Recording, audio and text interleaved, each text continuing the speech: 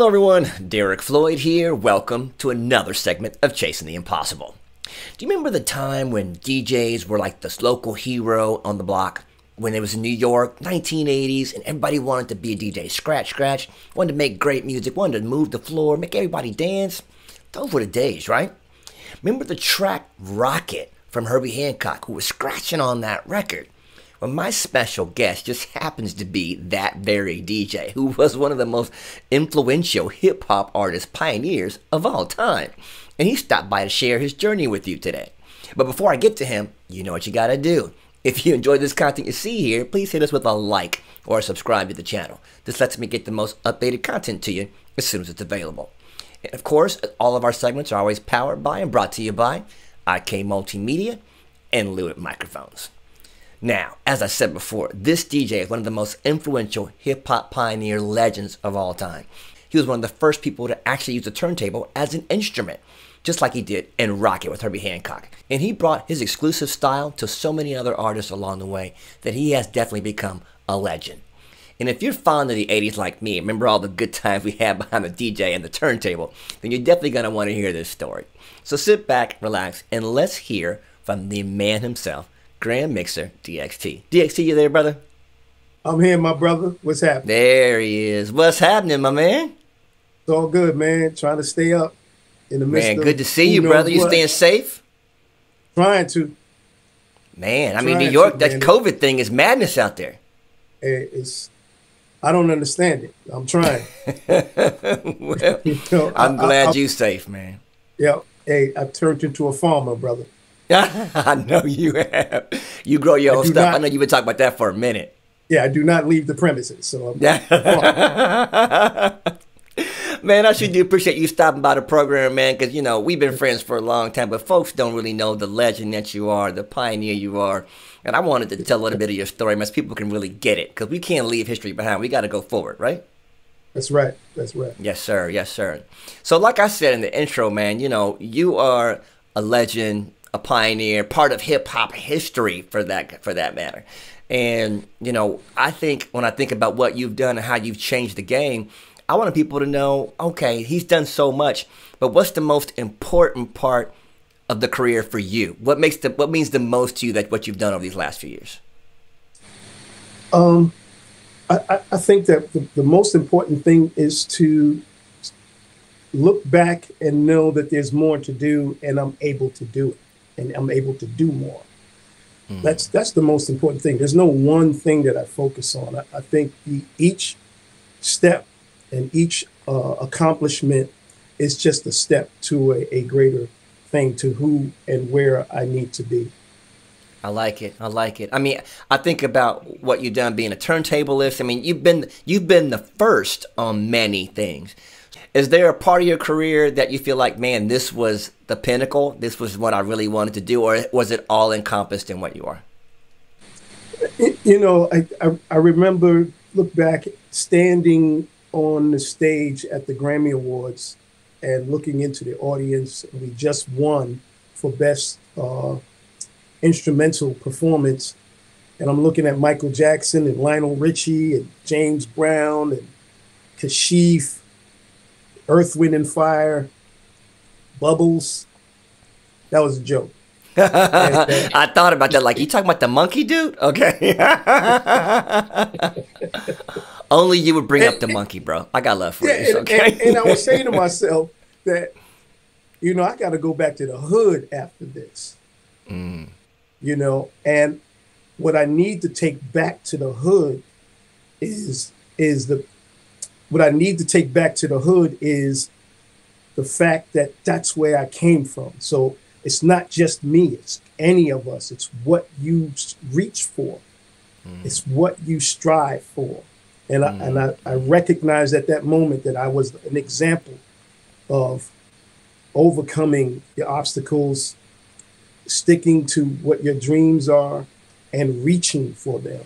And I was mm. I was hoping that when um, people saw me from my neighborhood on TV that that represented the the possibilities for them as well. Man, I love that. I love that. I mean, which brings me to the next question in a way. You know, you you came from the street, man. You came from New York. What were some of the, the DJs that you looked up to, and, and why'd you look up to them? Like, who were some of your influences? Well, I have a few. My, my first influence to make me even think about being a DJ were two DJs from my neighborhood. It was uh, a group called TNT Disco. That's Tony O'Gara and a, a, brother named Fat Tommy. That's what we called him. And um, they were the first DJs I, I, you know, I really got to see them, what they were doing and playing records outside. You know, I grew up in a neighborhood where it was mostly live bands playing outside. So that was the first time we saw, so, you know, at people playing records outside, uh, out other than in the backyard with one turntable at a, a party, you know, mm. a, a, house party. And but DJs, then, were, they were the heroes back then. DJ local DJs were the heroes in the neighborhood. You know what I mean? They they, they became that over time. But the, then then the, the next phase was the the bigger DJs, and so I, there were two, and that was uh, DJ Smoke, uh, Smokey from the Master Plan Bunch, and then ultimately Kool Herc, and uh, and that crew who people refer to now as the Herculoids, which was Kool Herc, and it was it was a Kool Herc party where he battled Smokey is when it was the deciding factor for me that um, this was something that I, I was going to go full force in. And at the time, mind you, I'm a drummer, right? So all through beginning, I'm a drummer until I, I put my drumsticks down for a minute after going to Kool Herc's parties. I said, you know what? I'm going to get into it. I started shedding like a drummer, you know. On the, on I always the, forget uh, you're a drummer first, man. I always forget that. I mean, that's part of why you're so good with rhythm and how you hear and how you match up that, that groove because you're you already you have auto rhythm in your spirit. You got that from the hey, hey, hey, hey, remember that uh, at the uh, what was that NAMM show where I was uh, playing that seven and beat in, in seven and no one can figure out the time. Mm-mm-mm. you I do remember, yes, sir. yeah, Nathan was trying to catch it. Nathan East yeah, he's a great he's a great musician too. Nathan a great guy. Wow, one of the baddest, one of the baddest. One man. of the best, one of the best. That was yeah, fun. man. Yeah. Yeah. So you know, coming from the hood and, and being a, a, a dropping the needle DJ in the beginning, just you know, dropping off with turntables and making it work. How do you feel about like the new technology of DJ, where they got these these you know the electronic turntables and mixers, and it's kind of like you know they got software, Ableton Live, all this new stuff that wasn't around when real DJs were doing it back then. Do you feel like this technology moves the the genre forward, or is it making it more like too easy? Like it's just not making it what it needs to be. Well, I, I put it this way, you know, for me, I'm you know I used turntables. And so that's how I trained and honed my skills and shed it with turntables. And so that's my craft was based on that use. My my motor skills and muscle memory is based off of that technology. Um, when if there's new technology that comes along and people are introduced into DJing based on that new technology, then that's what it is for them. Mm. So if they're doing what they need to do based on the technology that that they're working with from their beginning. You know, it could, it could have been I was the guy using the digital stuff, mm, but it wasn't invented yet. So I, I, can't, you know what I'm saying? I can't gauge. That's a good way to think about it. Yeah, I, I'm working with what I had, and they're working with what's available today. Because some people you know? think some of the purists are like, oh, they're not really making music. They're not turntable and they got this electronics. But you, being one of the pioneers, if you're saying, hey, that's just the tools they were given, that's what they did, what they learned, and that that's a kind of cool way to think about it. I appreciate that. Yeah, and and they and they have the the opportunity to go back to uh, use the older technology um, if they choose to, and just like some of the older DJs who used only the older technology, they have the option of using the new technology. I mean, we started off with, you know, home stereos. you know, then then we got the Technics, and the, and those techniques had were belt driven, and then they went to di- uh, direct drive, and so we went through that process also. Wow, See what I'm saying? Wow. That's so, so yeah, cool. there's yeah, we're in that line of, of uh, you know advance in technology as well. I'm you know I was on a home stereo system. On the home stereo. By, yeah, and you know, and so you can't, you know, that the, the purest thing is is not pure. Mm, mm. You know, when uh, you, you look, look back though at the early days, what you were doing, you know, when you were creating music with a turntable, like I said, one like they they call you the first real turntablist. When you were doing that, did you feel like man, I'm making history, or do you just feel like I'm just having fun? I'm I'm doing what I love to do, and I'm just gonna keep doing it. I mean, what did it feel like? Well, the whole the whole position and approach to what became known as turntable. And let me just say this, so that all of the people who are DJs in the DJ world and use that term, the term is being misused as, and that's it's and that's me saying it from the understanding of its origin. Mm. Um, if you are a scratch DJ and you're DJing, you're scratching at parties and stuff, you're a DJ, you're a scratch DJ. If you're a battle DJ, you're a battle DJ.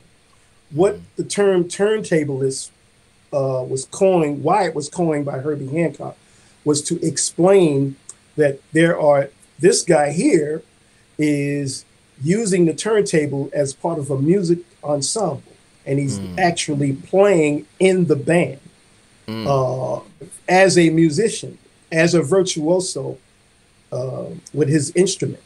And so I couldn't stand the term at first, and I didn't want to use it. And I said, "Man, I'm a DJ," and he was like, "I'm a pianist. Wayne Braithwaite is a bassist. Mm-hmm. You're a turntablist." And it took me a while. I I, I never. I really... love that. Never thought about that way. That's a that's perfect. I love it. Love yeah, it. and so now people are just using it because they're DJing, but that's not it. If you there mm. are other cats who play their turntables in bands, like the Skratch Piklz.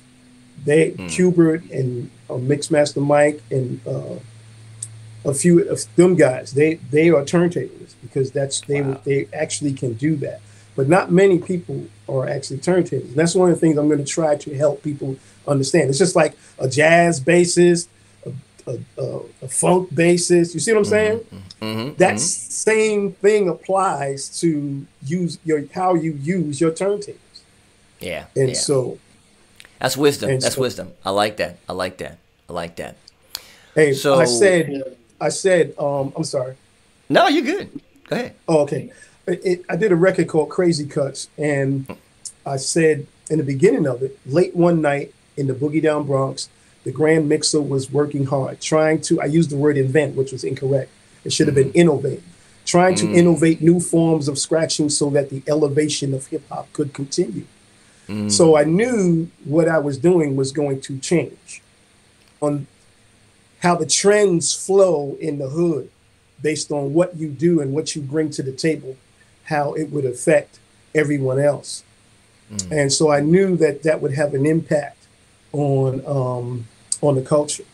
Mm. Every every time you went to a party, especially if there was a, a, a very good DJ in playing that night, you was expecting you would expect to see or hear something that would make you go home and practice. Wow. And so wow. as a, as a musician, I was used to shedding all the time. And wow. so that was my discipline from, you know, playing with older musicians all the time. I had no choice, mm. you know.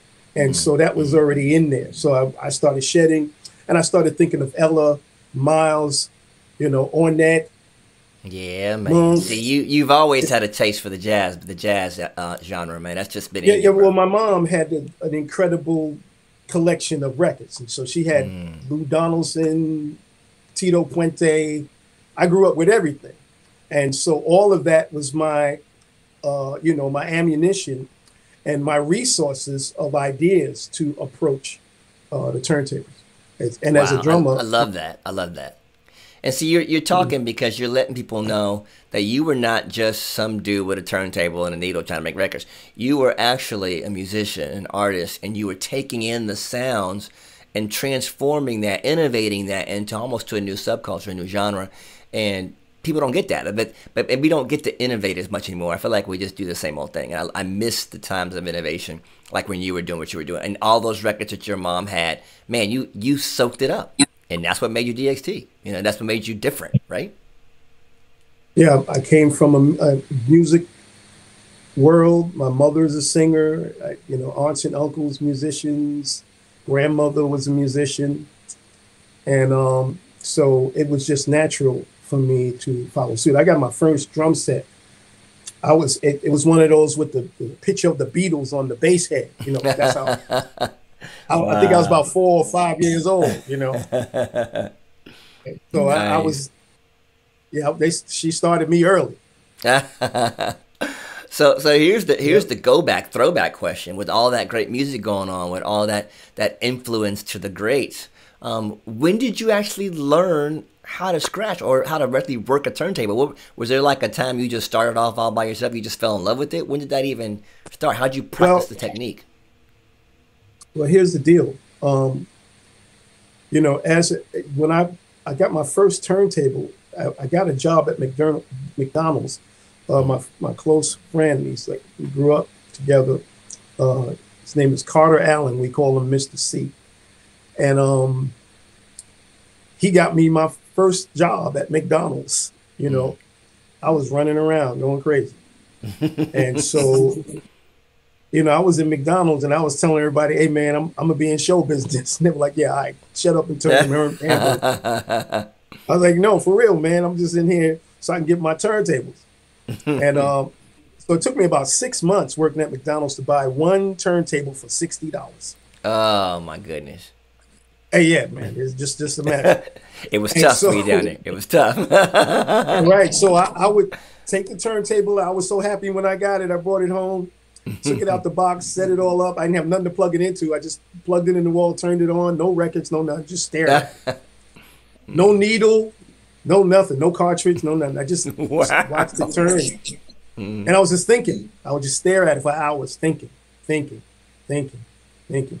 And remember, I'm also I'm listening to music. You know what I'm mm-hmm. saying? Mm-hmm. And so, as a musician, you always find yourself uh, uh, verbalizing uh, changes in a song or rhythm. Mm-hmm. You see what I'm saying? So I would sit there and go back that back. So I started thinking of all of that stuff. Mm. And then when um, it became fashionable to cue out loud, which the, that credit is given to my brother Grand Wizard Theodore. Mm-hmm. And so scratching is actually cueing. Every DJ who is conscious of timing cues the record so he can be on time. And mm. so even in the disco clubs and the dance music, those DJs cue the record so they can blend it in on time. Nice. But sometimes you make an accident with the fader and you mm. cue out loud. Oh wow! So no, you you see what I'm saying? and so okay. Grand Wizard Theodore made it fashionable to cue to cue out, out loud. loud. okay, right. I and it became it. called scratching, it. but it's actually cueing out loud. And I so once it. that was once it was fashionable, you know, everyone started trying to, you know, bring their technique. But you know, the one thing about hip hop was the, for the first few weeks or so of someone innovating or bringing something new to the table, that would be the stable uh, uh, replication of it. You know, you mm. would you would you would not enhance it in any way. And mm. for me, I always wanted to be different. Mm. And so, the moment I, the moment that I, I heard that that it was okay, you know, um, you know, my my whole musician thing. The whole world changed. Yeah. And, and, and I started shedding, and you know, th- there were there were catastrophic mistakes and beautiful mistakes. And so I held on to the beautiful mistakes, and I tried to rework the catastrophic mistakes, so, so, so, they could make sense.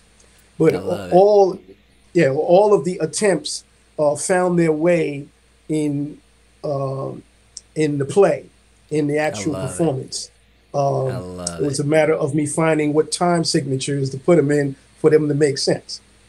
And so well, it was beautiful you, mistakes. And you bringing up mistakes because mistakes is something you did it perfectly. You're saying I took the mistakes and worked them in and made them beautiful. I hear the word mistake or obstacle a lot with people that have been successful in their planet, and most of them will tell me, okay, it, there you learn a lot more from the mistakes you've made than you do from you know all the the accolades and wins. Because there's you know you you got to learn how to pick yourself up. You learn the actual lessons. Can you give me maybe one or two, maybe one lesson that you feel like, man, I, I missed it here. I fell here. There was an obstacle here. A mistake here in your life that you felt like, man, this taught me to be a better DXT. Oh, uh, one night, one night I was on my way to a uh, to another group, local group that was doing a party, and uh, you know I wanted to go and and you know wish them luck, and because I was a celebrity, you know, local celebrity, and all of the DJs looked up to me, so I wanted to go and um, just tell them have a good party, you know, do your thing, and I'm I'm, I'm here to check you guys out, you know and I never made it inside. Um, I was approached by gunmen, mm. and um, at the end, of, at the when it was all over, they had robbed me for. I had this big DST gold medallion, oh. jewelry, a couple uh. of grand in my pocket, uh. and so when I got to my house, I told my brother what happened, and. Uh, so he, he got up and he said, All right, let's go. And he handed me a firearm. Mm. He had one. And I was so upset that uh, one of the we I knew we knew who it was instantly. People came and told me immediately who it was. Mm. And um, I went to out of anger, you know, Mm. We found one of their one of their brothers, and I, I went at him crazy. You know, mm. I, I, I, was about to shoot him actually, mm. and um, I caught myself. You know, and the next day I went to his house and asked him to forgive me. Mm. And uh, now here's the here's the, the spin on that. You know, I asked him to forgive me, and then within about seven days, I I went to Brooklyn to record Rockit. and I did that scratch solo in one take. Mm. Because I was I was deeply hurt. I was devastated by that. But it taught me a lesson. Um, and it took a while for it to kick in that I didn't need none of that stuff. None of that material stuff is what mm. got me to where I was. Mm. None of it. I needed my skills and my understanding of what righteousness is mm. and my purpose mm. of sharing uh, my abilities and, and using my talent to show others that they can also do it and wow. reach for the stars. And so that was that was the lesson because shortly after that, you know, Herbie wins his first Grammy so mm-hmm. you know, we win the first first time for me, first time for him. One take, mm-hmm. one, mm-hmm. and that could have been one shot. Yeah. Wow. Wow. You see, you that, that's amazing. And that and you learned and you learned that lesson and it changed your life. Changed my changed life. life. I, I, actually thank those guys now. Mm. Because I didn't mm-hmm. I thought the material thing meant something to me. And it took me a while to realize that no, that they came for a reason. Wow. To help me to see that uh, I didn't need none of that. Wow. Wow. That's a great story. And as, as always, you know, things like that, like people that are successful tell me, there's always a pivotal moment where you learn. And you obviously, that was a pivotal moment in your planet. And um, man, I just, I think absolutely. I, I, I would not be sitting here today if I would have made the other decision. Wow. Uh, I wow. just I just be I'd just be coming home or something. You know what I mean? Yeah. And um yeah. I, I, I thank them that. Mm, you know, mm. I thank well, you them. you you also mentioned the pivotal moment, which was Rockit, which I was going to go right into. Uh, you know, that is an iconic song, an iconic track, a, a, moment in history that blended genres. I mean, and when you were doing that, when Herbie, wa- when you walked into the studio with Herbie and he said, "Let's do this," Did you have any idea that it was going to change the culture the way you did? No, no. Um, like I said, I went to Brooklyn. I took a cab from Edenwald Projects in the Bronx to Brooklyn that day to record that. Uh, Mr. C was with me. and uh, Herbie wasn't even there. It was myself. It was the material was the production company I was part of. Uh, Michael Beinhorn, Bill Laswell, and um, Daniel Ponce uh, was the played Bata on that record. and um, I went in there and did my parts. And uh, you know, that came from my mind. You know, I went in there just putting my own ideas onto the track. Wow. You know, that's Wow. that's what we all did. Every everyone put their own two cents on that track. Of course, I was the only person in the known universe at the time doing that. So no one Right. else- That's what I'm saying. You were you were iconic even before you started it, but to know Right. So that how it- that it changed. really- right. It was based on whatever I was chose to do, and um, that uh, particular performance was based on where I was. Um, I was angry, and I, I was trying to reconnect myself to what my cause is and my purpose is. And so I went there and said, "This is what I do." So so you so your your hardest lesson brought you your greatest triumph. Absolutely. And and I tell people this, and I've heard it. My pastor says it all the time. Pastor Stephen Verdict, big shout. Um, he said, it, "Your it, within your greatest adversity is your greatest opportunity." And Absolutely. You you took that greatest adversity in your planet, and you're like, "Well, I'm gonna change this into something. This is your shot to be bigger than that adversity," and you did it. And now you this is you were already a legend, but this takes it to the next level. So you know, blessings on sharing that story. That's awesome. Thank you for sharing that. Yeah, yeah, it, it is what it is, man. And again, I, I, I think the whole situation worked out for me. Yeah, uh, taught yeah, me a great yeah. lesson in life that I can share with uh, other people. Mm. So knowing, you know, you've been around some of the greats, man. I know you had a love for jazz. Uh, how did the Herbie Hancock connection even come to be? How'd you meet him? How did it even start it? Well, I was the DJ at the biggest club in New York. Uh, it was called the Roxy's, and uh, it had became the number one spot for celebrities.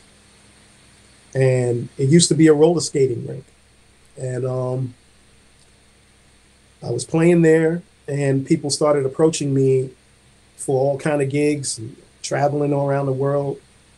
And a gentleman by the name of Bernard Zekri, uh, Tunisian, a brother from Tunisia, he approached me and he he said uh, he was working with a guy named Jean Karakos, and they were starting a record label, and they were interested in doing some music and business with me. Uh, they said there were some other people involved, uh, being Bill Laswell and Michael Beinhorn, and they said we're going to have a dinner party, and we'd like for you to attend so you can meet Karakos and discuss business and um, I said, cool. So I'm thinking, well, here's my opportunity to get my drum game back on, you know.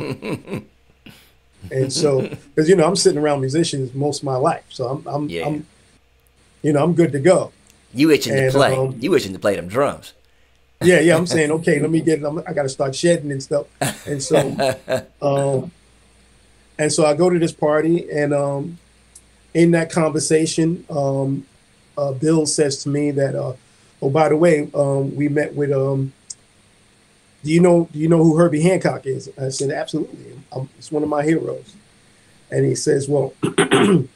Uh, one of the things that we're doing is we're submitting some demos. We met with his manager. They're looking for demos, and um,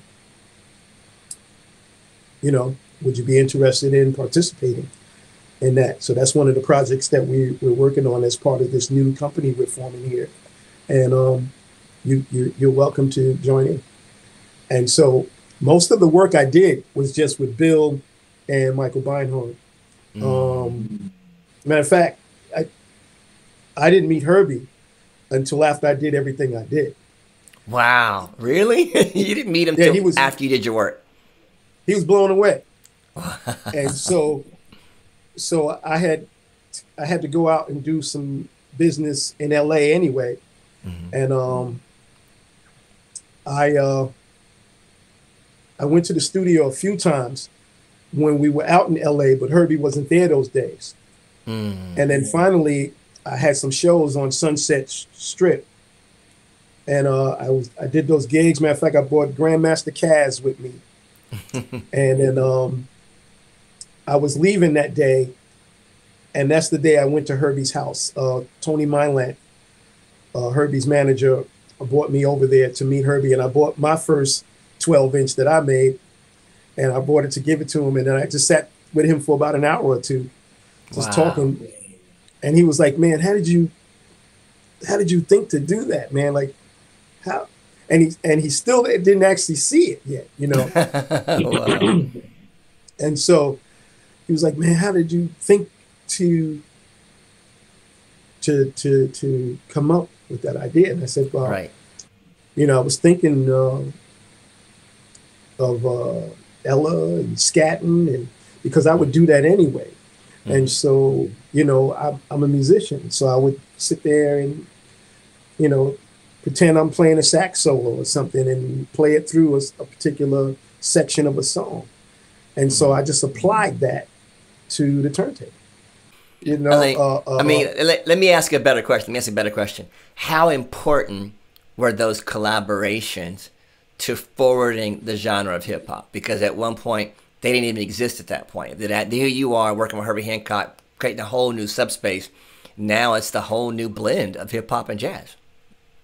Yeah, what it did was that performance opened the door to cross genre collaborations because hip hop is in many ways it is jazz.